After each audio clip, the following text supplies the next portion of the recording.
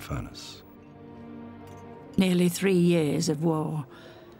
If only mothers could think that their poor boys had died usefully, with a purpose. It's shocking. But from defeat, a victory. At last. Operation Torch. On November the 8th, 1942, British and American forces had landed in Algeria and Morocco.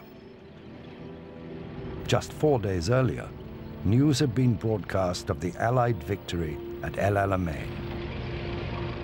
This is Bruce Belfrage. Here's some excellent news in the form of a communique from GHQ Cairo. The Axis forces in the Western Desert, after 12 days and nights of ceaseless attacks by our land and air forces, are now in full retreat. Moira Charlton had heard the announcement at home in Britain. Montgomery and the Eighth Army seem to have done the trick. It's as if the tide has turned. Rommel is retreating. It must be hell for the Germans, and I must say I'm glad of it. It's terrific. Dad was so excited at breakfast that he consumed the whole of his butter ration on two bits of toast.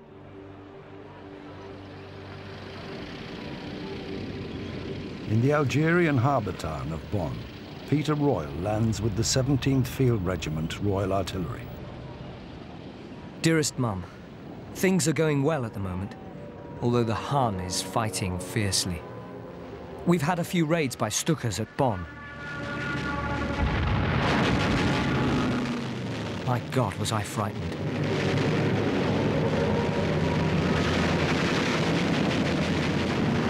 This was the first time I'd been bombed, the nearest being 50 yards.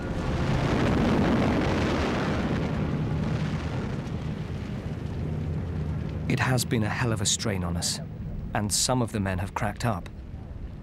I'm afraid my nerves are in rather a poor state. I never thought I would see men blown to pieces.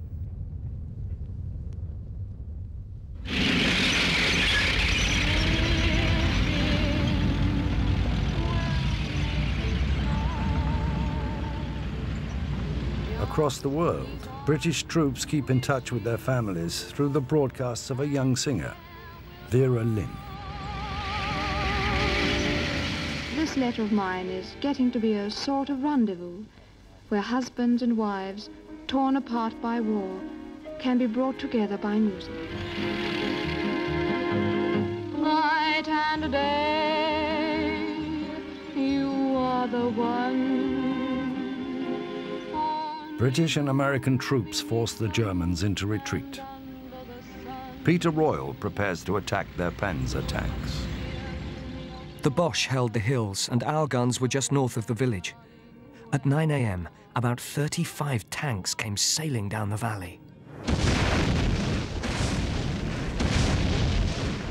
We took him very much by surprise and knocked out about 19 tanks for the loss of one gun.